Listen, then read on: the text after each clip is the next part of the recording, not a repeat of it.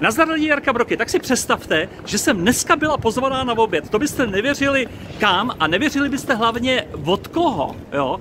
Za chviličku toho člověka uvidíte.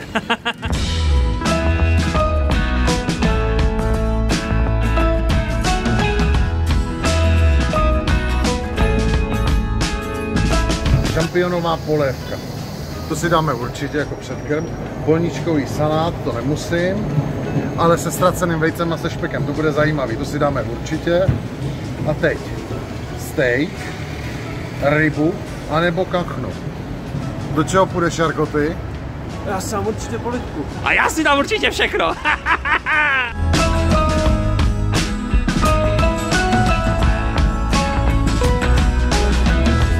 já chci, já chci tuhle tu kachní pernamentku. Kachní parmantier, hele, jsem byla opravená tady, jo, tím, že abych to taky jako nevypadala jako hloupá, že prostě to neumím ve Francii vyslovit. Hm? Hmm, chardonnay. Hele, Pepo, jo, počkej. Hele, Pepo, když jsme, sem, když jsme sem šli, jo, tak já, jak nám ten portýr víš, jako to, když mě viděl v té uniformě, tyhle, tak hned vzal hadr a začal umazávat hvězdy, jo.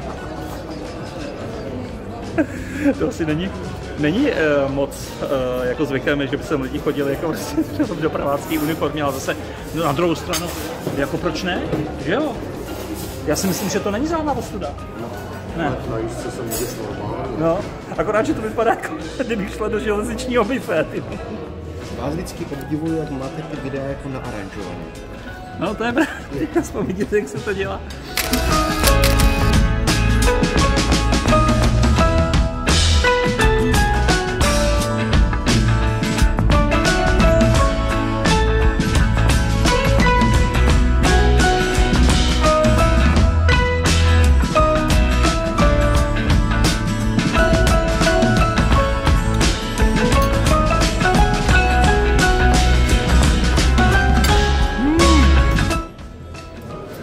Je to výborné!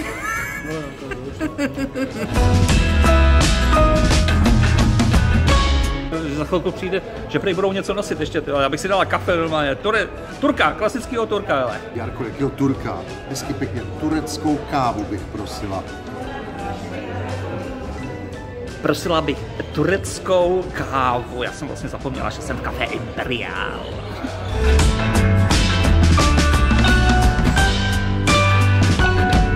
Teda můžu ti říct, Pepiku, ale já ti moc krát děkuju za tohleto dnešní pozvání. Vůbec není. To, to teda jako... Hele, kluci přijedou, rozumíš, a hned Jarko Broky, pojď na oběd. Já si říkám, no. Půjdeme někam, někam do nějakého bufáče nebo tam a oni, no, je Imperial. Vždycky. Vždycky, když přijedu do České republiky, imperiál oběd. To je vždycky. Bez toho to nejde. A jak vám, jak vám chutnalo, kluci? Bylo to výborné. Bylo to fakt skvělý, jako vždycky. Já musím, já musím teda říct, že mě to tady chutnalo maciozně. Hm, hm, Jsme spokojení. Jo. Čau, Jarka Broky.